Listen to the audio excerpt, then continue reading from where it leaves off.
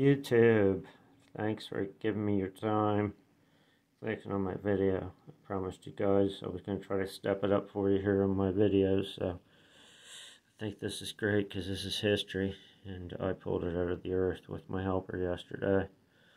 My partner in life and I went digging, and we had a phenomenal day. So it all started, she was over there being real quiet, so I knew something was going on. She wasn't leaving her spot. We were digging. I found one blue cat eye earlier, and she comes over with this, and she says, hey, this one's real heavy.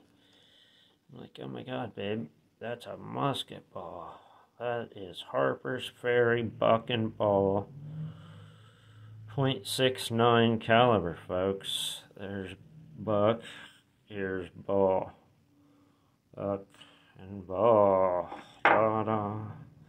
So, we actually found Civil War relics yesterday. It all started digging marbles. There's two wheat wheatbacks in there. These are not Civil War relics, but this is how it started. We were looking for these things, guys, right here. And then, da-da, so, this is my I Am Blessed. I pulled this afterwards, and it was covered with mud. And I said, I believe that's a Civil War button. And then I started picking up all this metal stuff. So, anyways, these were the two things we dug yesterday. This was dug actually in my actually in my backyard a few feet out my back door. And we pulled this beautiful stunner yesterday. I spotted it, my wife pulled it, and I, I believe the back of this is like granite, and it's all humped up because they probably couldn't get it off there. These are the exact same materials, I'm almost certain of it, folks. So, I, I told you I was going to step it up. These are all the Civil War relics that have been collected from my backyard here, guys.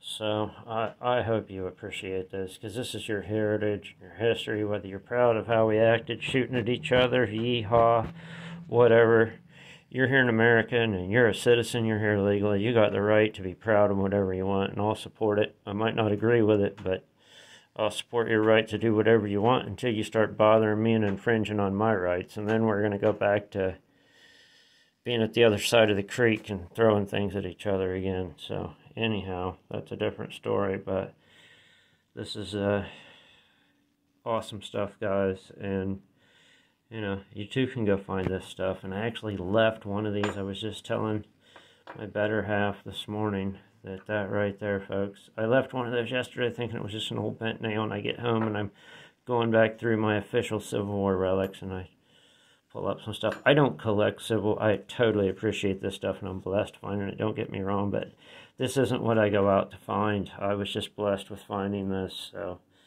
um, for me being blessed with finding it, I'm going to share it with you guys, and uh, you gave me your time, so I hope you appreciate this stuff because your freedom to view it today, somebody could have gave their life up for it back then. Just goes to show, once again, that we never get along with each other. But back to this guy, you know, this was this was one of my earlier uh, artifact pulls from my own property that started really getting me into archaeology and digging and looking for stuff. And I, I want to show you when I was a kid, I used to go hunting with my uncle. He's the one that really got me into this stuff. And one of the neat things that I have done, uh, you guys, is this right here. So uh, when I was a child, I was we didn't have the smartphones, whatever. So check this point out, guys. Do you see how cool this one is? Look at this one. What's with that, huh? So then you come over here and I'll give you another one. Look at that craziness. What? Here's that same material. So what tribe did this one here? Because, you know, uh-oh, what?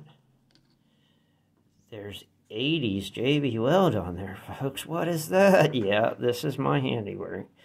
I found these were all separate pieces. My uncle and I, we would always walk the fields. Nobody taught us about creek bank walking or none of that. And he would not go nowhere near the water. He almost drowned when he was a kid. So he would like I would get close to the creek and he would grab my arm, get back. But we would walk the fields, and these were the broken ones I found as a kid, and I would match them up and put masking tape around them and JB weld them together just so I could have something cool.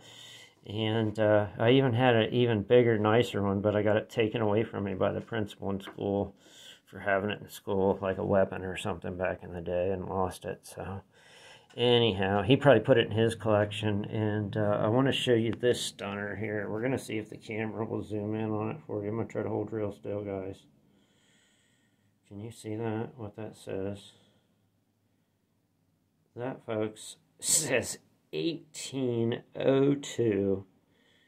That's a Indian head penny. My better half pulled. I told you she found two wheat backs. And she pulled this yesterday out of the bank with all this other stuff. Folks, so this is all just super old, old stuff.